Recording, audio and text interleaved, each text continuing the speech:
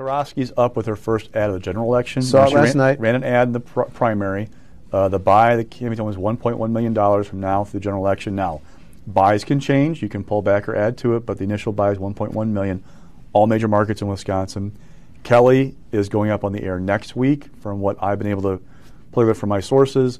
Um, it was roughly half a million bucks to start, but again, ad buys change. Add more in, so that's not the final number of what he's going to spend. Give me your assessment. Are third-party groups going to play heavy in this? What, what do you think? depends think? on your definition of- definition of heavy. It also depends on what the polling shows bef- in the final weeks. I get the impression that, like, conservative groups have kind of told me that, yeah, they're planning to play, but they want to make sure there's a path to victory for Kelly before they get fully committed. I, I think they're ones who will, will run ads no matter what, but they're not going to spend bad money. So if they see a difficult path for him, you know, they'll have to reassess. Liberal groups, same thing. They're to, they're not to throw money away. I guess is the bottom line. Rewind.